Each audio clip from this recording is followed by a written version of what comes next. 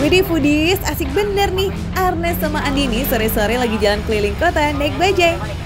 Emang pada mau ke mana sih? Yeay, akhirnya kita sampai lagi. Dan sekarang foodies, saya mau ngajak Andini itu makan sesuatu hal yang sedikit berbeda dari yang lainnya ya. Yang pasti Andini nggak tahu. Walaupun kata Andini dia ngomel-ngomel mobil mogok segala macam. Intinya kita sampai di tujuan walaupun ini dia si biru. Untung aja nih Arnes masih punya jurus rayuan lain nih. Biar istri tersayang nggak cemberut lagi deh. Eh, Bu, saya mau pesen dong sekarang. Ya maaf maaf mas. Hah? Tutup. Oh, ditutup. Tutup. Kamu tuh gimana Bukanya dari jam berapa sih? tadi, Bu? Bukanya pagi jam 7 Ah. sampai jam 5 sore. Ya. Ya, jelas ya. Aku sampai kayak gini padahal aku nggak pakai Iya, iya, iya. jam. Ya udah kalau gitu, makasih ya Bu ya. Tenang, aku ada lagi tempat lagi satu. Kita harus lihat ya. Oke, oke, oke. Oke, oke, oke. Iya, udah. Ayo Fudis, ada lagi tempat lain. Foodies pernah dengar tentang es curah nggak yang harganya cuma goceng alias 5000 aja? Wow, dari tampilannya lihat tuh segar banget ya. Nah awalnya nih foodies populer duluan ada es permen karet Warnanya merah muda dengan rasa manis yang segar bikin es ini banjir banget sama pembeli Nah kalau sekarang sih pilihan rasanya udah seabrek-abrek deh tuh, banyak banget Gini, gini, gini. Lihat yang paling favorit itu caranya gampang. Yang paling cepet habis mana? Enggak, Ini. ini. Sa- tapi kalau yang segar-segar gitu yang mana yang segar? Apa? Oh jeruk markisa, aku mau jeruk markisa. Aku suka yang segar-segar gitu soalnya. Bahan-bahan dasar buat bikin Es es ini sederhana aja. Ada bubuk rasa, sirup, susu, dan gula. Semuanya diolah dengan takaran yang tepat, kemudian tinggal ditambahin es batu deh foodies. Nih, sepatu semua nih sini. Kalau di sini varian rasanya lumayan banyak loh. Ada mangga, jeruk markisa, alpukat, sirsak, semangka, leci, cappuccino, jelly, dan permen karet. Permen apa ya yang rasa-rasanya kayak grab gitu loh? Ya nggak sih? Ini kayak rasa permen karet ya? Bukan permen karet, Bukan tapi kayak kayaknya. Iya bukan sirsak banget. Dan itu dia kayak ada semacam jelly-jellynya gitu, ungu-ungu gini. Ini segar juga, tapi jujur ini aku lebih suka yang ini karena ini lebih benar-benar yang segar banget apalagi kalau misalnya siang-siang minum ini ini fresh banget sih sumpah Wah, kalau dikasih pilihan sebanyak ini sih, siapa yang bakal bisa nolak ya foodies? Dijamin kayaknya Andini bakal lupa tuh kalau lagi ngambek. Ini permen karet banget, tapi menurutku ini lebih ke rasa kayak susu gitu. Ini susunya sih, susu tapi rasa permen karet. Biar suasana hati semakin ceria, minum es aneka rasa ini mesti ditemenin sama camilan dong yang bikin perut anteng ya foodies.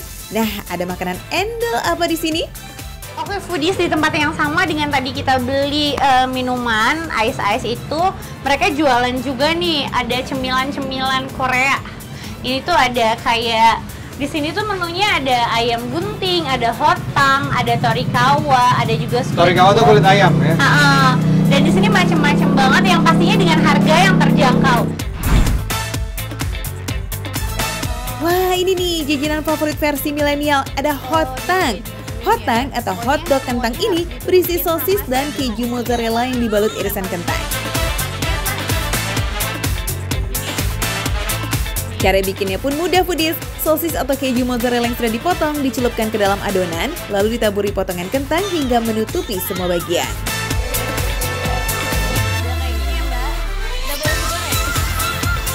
Karena minyaknya udah panas, ini udah bisa kita langsung goreng.